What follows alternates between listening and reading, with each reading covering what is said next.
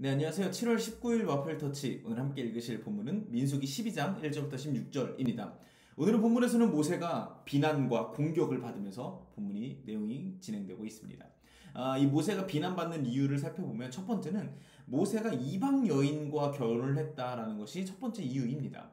출애굽기 34장에 보면은 하나님께서 이방 여인들과 결혼하는 것을 금하고 계신데 모세가 그것을 어겼다라는 것이죠.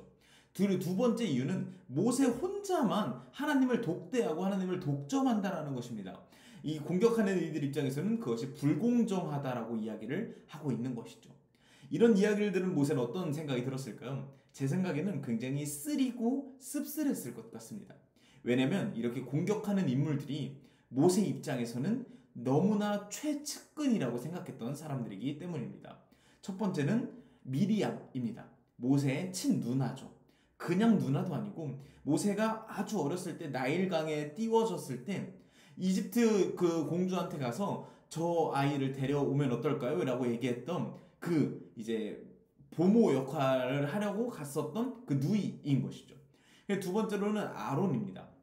이 아론은 모세가 출애굽을 시키기 위해서 이스라엘 백성들을 구출하기 위해서 왔을 때 모세의 베스트 어떤 파트너였죠. 하나님께서 직접 짝지어 주신 모세를 너무너무 잘 도와줬던 최고의 서포터였습니다. 그런데 지금 그런 모세를 향해서 미리암과 아론 최측근들이 비난을 하고 있는 것입니다. 그런데 사실 미리암과 아론 입장에서 생각해 보면 틀린 얘기도 아닙니다. 일단 첫째로 아까 말씀드렸죠. 하나님께서 이방 여인과 결혼하지 말라고 하는 것은 분명한 팩트입니다. 이방 여인과 결혼하지 말라고 했는데 모세가 그걸 어긴 거죠. 이 미리암과 아론 입장에서는 굉장히 황당하고 비난하고 싶은 마음이 들 수도 있었을 것입니다. 두 번째는 아론과 미리암 입장에서도 하나님을 독대하고 대면해서 만나고 싶다라는 마음이 간절했을 것입니다. 이스라엘 백성들 안에서 열심히 일도 하고 특히 미리암 같은 경우는 모세와 거의 대견될 정도로 여선지자로서 굉장히 핫했던 인물입니다. 그런데 모세만 하나님을 대면하고 있으니 질투가 나고 좀 불공정하다고 생각이 들 수도 있을 것 같아요. 양쪽 다 참 씁쓸한 마음을 가지고 있는데 하나님께서는 누구의 손을 들어주셨을까요? 모세의 손을 들어 주셨습니다. 모세가 옳다. 니네가 틀렸다. 너네가 틀린 것에 대한 대가를 보여주시기 위해서 미리암에게 이제 문둥병, 나병을 이제 걸리게 저주를 하시죠. 그런데 결국은 이제 모세, 아, 미리암과 아론도 깨닫게 되고 모세도 이제 그들을 사랑하는 마음으로 하나님께 간절히 빌면서 7일 동안의 격리 후에 회복이 되는 어떤 해피엔딩으로 마무리가 됩니다. 그런데 여전히 이렇게 이야기를 들었어도 우리의 마음속에는 의문이 듭니다. 정말 모세만 옳았는가? 아론과 미리암의 이야기는 정말 뭐 이게 가당치도 않는 얘기인가? 아, 그런 것 같지는 않은데? 이런 생각이 들긴 합니다. 어, 하나님께서 왜 모세의 편을 들었는가에 대한 이야기를 좀 살펴보자면 먼저는 어, 하나님께서는 출애굽기 34장에 이방 여인과 혼인을 금한 것은 분명합니다. 그런데 그것을 좀 자세히 살펴보면 이방 신에게 이제 우상 숭배를 하는 여인들과는 결혼하지 말아라. 왜냐하면 그 여인들을 통해서 우상 신이 들어올 수도 있기 때문이다라는 것입니다.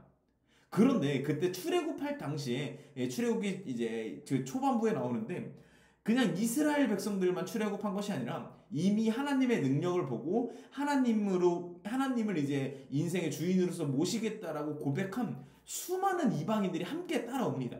그들은 이미 이방신을 버리고 하나님을 섬기기로 결심한 이들이죠. 무리 안에 이방인이지만 하나님을 섬기는 이들이 이미 있었다라는 것입니다. 그리고 모세는 그들 중에 한 명과 결혼을 했을 것이라라고 많은 학자들은 추측하고 있습니다. 그러니까 아론과 미리암이 그냥 다짜고짜 뭐라고 할 것이 아니라 하나님의 본래 뜻, 본래의 마음이 무엇인지를 알 필요가 있다라는 것이죠. 그리고 그 다음에 이제 하나님께서 왜 모세만 대면하시냐, 왜 모세 너만 하나님을 독점하냐, 라는 어떤 비난에 대해서 하나님이 나는 뭐 모세가 나한테 제일 소중해 뭐 이런 식으로 얘기를 하시는 게 아니라 이렇게 얘기를 하십니다. 모세만큼 겸손한 사람을 본 적이 없다라는 것입니다. 우리는 때때로 겸손하다고 하면은 아뭐전 아무것도 못해요. 아이고 당신 말이 다 옳아요. 이런 어떤 태도를 생각하시는데 하나 하나님께서 성경에서 보여주시는 어떤 태도의 겸손의 태도를 보여줄 때는 이렇게 항상 이야기를 합니다. 하나님께서 선하시다는 것을 하나님께서 주권자이심을 인정하는 태도. 그것을 항상 겸손이라고 합니다. 그래서 예수님을 겸손의 왕이라고 부르는 것이 아닐까 싶습니다.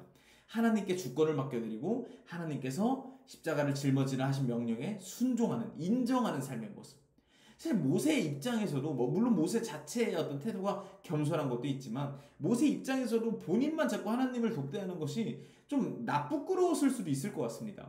근데 반대로 아론과 미리암은 모세가 뭐 나쁘끄럽고 이런 거 상관없이 하나님이 모세를 만나 주시는 건데 그게 질투가 나니까 그리고 좀 더 말하자면 질투를 넘어서 나도 하나님을 대면할 수 있을 정도의 사람인 것 같은데 라고 스스로 판단이 들어서 모세를 공격했던 것이죠.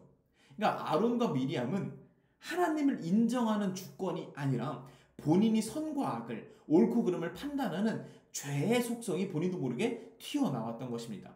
하나님께서 이것을 깨달으셨는지 아론, 미리암, 모세를 셋 다 부르십니다. 야, 니네 일로 와봐. 야, 너네 내 앞에 서서 내 얘기 듣는 게 뭐 별거 같니? 특별한 게 아니야. 근데 아론과 미리암 너네들의 마음속 깊은 곳에 있는 것을 한번 살펴봤을 때 모세는 겸손한데 너네는 그렇지 않은 것 같아. 모세는 겸손히 나를 주권자로 인정하는데 너네 지금은 그렇지 않은 것 같아. 라고 하나님께서 단단히 얘기를 하십니다. 독대하는 게 뭔가 특별한 게 아니라 하나님의 주권을 인정하는 지도자로서 모세가 그 자격을 갖추었다라는 것이죠. 이런 대화를 통해서 아론과 미리암도 깨달았는지, 뭐 물론 문둥병이 무서워서 그런 것도 있을 수 있었겠지만 깨달았는지 바로 어떤 사과를 하고 회개를 하는 모습을 보여주고 있습니다. 사실 이렇게 생각하고 나니까 이방 여인들과 호인이 했다고 비난하는 어떤 아론과 미리암의 마음도 조금은 이해가 됩니다. 사실 그때 당시에 하나님께 헌신하기로 한 이방인들과 결혼한 이스라엘 백성들이 많았을 것이라 추측을 합니다. 그렇기 때문에 나중에 이제 사마리아 여인들이라든지 이런 어떤 그런 혼혈 민족들이 나타나게 되는 것인데요. 그런데 이건 상황을 앞뒤 상황 전후 상황을 뻔히 알면서 모세를 깎아내리고 싶었던 아론과 미리암의 못된 마음, 좀 못난 마음을 하나님께서 알고 계셨던 것 같습니다. 아, 가끔 이런 본문을 가지고 지도자한테 어 함부로 덤볐다가는 이렇게 되는 거다. 지도자는 하나님이 세운 거다라고 이야기를 하시는 분들이 있는데 아까 본문 말씀에서 보셔서 아시겠죠? 절대 그런 어떤 지도자를 띄우는 하나님의 말씀이 아닙니다. 하나님과 독대하는 거 아무것도 아니라고 하나님이 얘기하십니다. 야, 나 만나는 게 뭐, 어, 어떻다고 그렇게까지 질투를 하고 그러냐. 단지 나를 주권자로 인정하고 본인이 선악을 판단하고 그로 인해서 남을 깎아내리는 그런 것들을 하지 않았으면 좋겠다라고 하나님께서 이야기를 하십니다. 사실 오늘 본문 말씀은 그 이스라엘 백성들이 약속의 땅으로 가는 데 있어서 상당히 뭐랄까 크게 중요한 이야기는 아닙니다. 하나의 에피소드 같은 건데 중간에 굉장히 생뚱하게 뚝 들어가 있습니다. 그런데 중간에 생뚱맞아 보이는 얘기고 별거 아닌 것 같아 보여도 사실 신앙생활의 어떤 정수가 이 안에 다 들어 있습니다. 그리고 신앙생활이라는 것은 어떤 겉으로 드러나는 행동, 하나님을 대면하는 어떤 겉으로 드러나는 모습들, 권위들, 뭐 누군가랑 결혼을 하고 막 이런 것들이 중요한 게 아니라 그 안에 깊은 내면에 하나님을 주권으로 인정하고 있는가 아닌가. 누군가는 결혼할 때 이방인이냐 아니냐 이런 겉으로 드러나는 것이 아니라 그 중심에 하나님을 섬기는 자로서 변화되었는가 아닌가. 이 중심을 보는 하나님이라는 것, 그리고 하나님을 주권을자로 인정한다는 것이 결국 신앙의 어떤 가장 중요한 중심이라는 것을 이 민수기 12장에서 보여주고 있는 것 같습니다. 우리도 우리의 인생 가운데 어떤 중요한 어떤 목적이나 이런 것들이 있을 수 있겠고, 어, 겉으로 드러나는 수많은 것들이 있어서 이게 굉장히 우리의 생각을 결정하는 척도가 될 때가 많은데, 이런 것이 아니라 하나님을 주권자로 인정하는가, 이것이 우리 삶의 척도가 될 수 있는지 한번 돌이켜보고 점검해 볼 수 있으면 좋겠습니다. 감사합니다.